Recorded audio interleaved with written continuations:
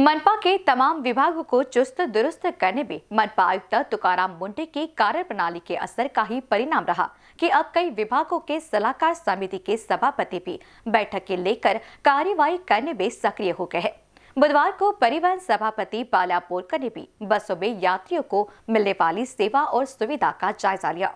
बाला बोरकर ने बताया कि न केवल 22 कंडक्टरों को बर्खास्त किया गया, बल्कि अन्य इक्यासी कंडक्टरों को बिना टिकट यात्रा कराने के लिए दोषी पाए जाते ही उनकी आईडी ब्लॉक कर दी गई। अब आईडी ब्लॉक किए जाने से उन्हें काम पर नहीं लिया जा सकता है।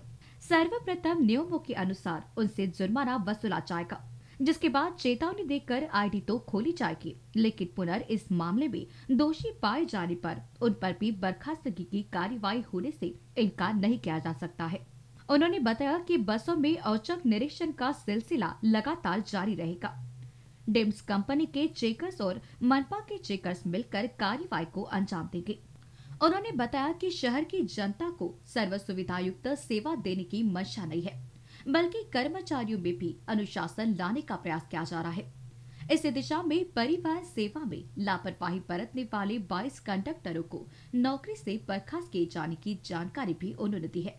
उन्होंने कहा कि व्हाट्सएप ग्रुप में कुछ कंडक्टरों ने शामिल होकर रैकेट शुरू किया था, जिसमें यात्रियों से पैसे तो लिए जाते थे, लेकिन टिकट नहीं दिया जाता था। यहाँ तक कि चेकर्स पर नज़र रखने के लिए अन्य लोगों को भी लगा दिया था।